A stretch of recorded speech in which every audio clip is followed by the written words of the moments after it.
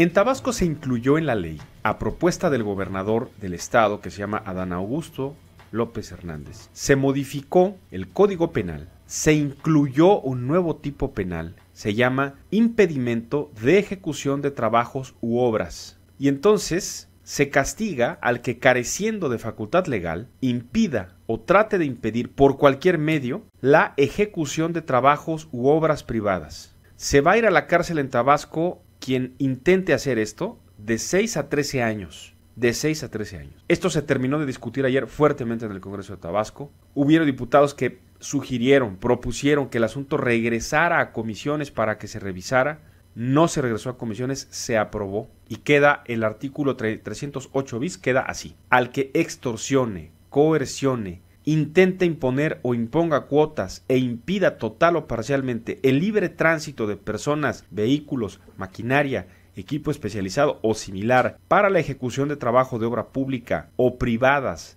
en las vías, se impondrá de 6 a 13 años y multa de mil a dos mil veces el valor diario de la unidad de medida y actualización. Eso fue lo que se aprobó en Tabasco. Se le ha puesto mediáticamente ley garrote. ¿sí? ¿Por qué es polémico? es polémico porque un gobierno emanado de Morena, un presidente de la República emanado o oriundo de Tabasco, donde su lucha social se fundamentó en la manifestación pública en Tabasco primero, antes de que aquí en la Ciudad de México, en Tabasco, ¿sí? sea en ese estado ahora que Morena gobierna ahí y que gobierna el país, donde se vaya a una ley con estas características. Eso es lo que hoy está en la polémica. Si alguien sabe cómo funcionan las cosas en Tabasco, pues es el presidente López Obrador. Si alguien sabe cuál es el origen de una manifestación, de una movilización social en Tabasco y en qué termina una movilización que arranca, es el presidente López Obrador porque antes de ser presidente fue candidato a la gubernatura en dos ocasiones, en dos procesos electorales, y en esos dos procesos electorales terminaron sus movilizaciones en protesta. Para quienes nos están viendo en redes sociales, se los eh, lo están ustedes viendo, son imágenes de aquel, aquella manifestación en la que el presidente López Obrador, entonces eh, ex candidato a la gubernatura, bloquea los pozos petroleros en Pemex y el gobierno del estado envía la fuerza pública y se lleva incluso un garrotazo en la cabeza, este, se golpea a la gente allá, allá en Tabasco, este, no pasa a mayores, pero bueno, fue un momento histórico que ha sido usado, este tema de los, de los bloqueos a los, pozos, a los pozos petroleros de Tabasco, ha sido utilizado para además golpear políticamente a López Obrador en, en procesos de campaña electoral. Pero aquí estamos recordando el hecho y el asunto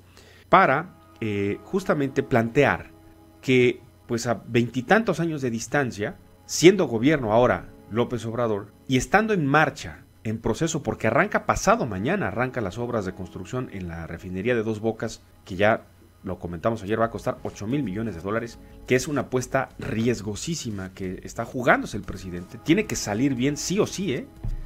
Porque si esa obra se tarda más y si esa obra cuesta más de lo que tiene presupuestado el gobierno, entonces habrá presiones que ya tiene de por sí Pemex encima. Y el presidente lo ha dicho, es un reto en todos sentidos. Bueno, entonces el presidente ha tomado, o el gobernador, Adán Augusto López Hernández, ha tomado medidas en Tabasco para evitar que grupos de choque que identifican, se identifican perfectamente en Tabasco, puedan, a partir del uso del derecho constitucional que todos tenemos de, de manifestarnos libremente, libre y pacíficamente, así dice el precepto constitucional, puedan en ese ánimo ir a plantarse a dos bocas y no permitir que se construya dos bocas. Allá en Tabasco, hay que decirlo, claro y directo, allá en Tabasco, las argumentaciones de los legisladores y del propio gobernador es, a ver, aquí en Tabasco tenemos un problema gravísimo de seguridad pública, de inseguridad, de penetración del narcotráfico, por ejemplo, ¿sí? que mueven de intereses sindicalistas, etcétera, que mueven a los grupos,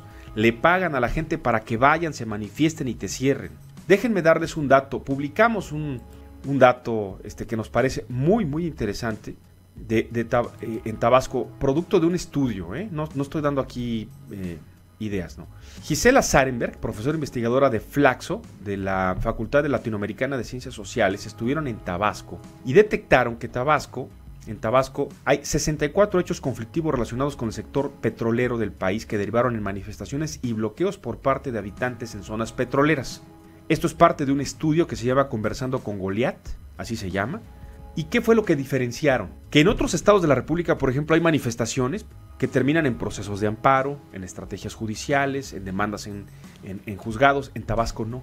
En Tabasco terminan las cosas o a golpes, o a garrotazos, o en bloqueos de instalaciones. Por eso preguntaba, y vuelvo a plantearlo, ¿qué le hubiera dicho aquel López Obrador a este López Obrador? ¿Son distintas circunstancias? Absolutamente sí. Totalmente distintas circunstancias. En cuanto a la posición de aquel López Obrador del 94 a López Obrador que hoy es presidente de la República. Y que pesa sobre él justamente este enorme compromiso de sacar adelante no solo el país y particularmente el conflicto, no el conflicto, el probable conflicto que se le pueda convertir dos bocas por todos lados. ¿Qué le diría? ¿No? ¿Qué le diría? Y hoy, evidentemente y naturalmente, Morena, un partido, que insisto, su líder, su creador, López Obrador, funda su movimiento a partir de la manifestación, ¿no? de su protesta del 2006 por lo, que, por lo que él llamó el robo de la elección, con Felipe Calderón, aquel bloqueo histórico a reforma. ¿no? Con una ley así, ¿quién estaría en la cárcel ahora? Díganme si no es polémico el tema. Ahora, ¿va a aplicar solo en Tabasco? ¿Podría extenderse esto a nivel nacional? Es probable si se sienta un precedente en Tabasco. Y entonces, ¿podría la Ciudad de México desahogarse con las manifestaciones que tenemos diarios aquí? ¿Podría ser este un acicate para la gente? Porque se están empezando a mover leyes en los estados como la ley Bonilla en Baja California y la ley Garrote ahora en Tabasco. Y la ley de extinción de dominio que vamos a comentar más adelante. Ahí están los temas, ¿eh? Yo sé que todo el mundo anda ahorita que si los oya, que si. Ay, que si los oya, que si el mártir los oya. El mártir los oya está prófugo en Europa, en algún lado. Los temas importantes están medio discutiendo en este país. Medio discutiendo.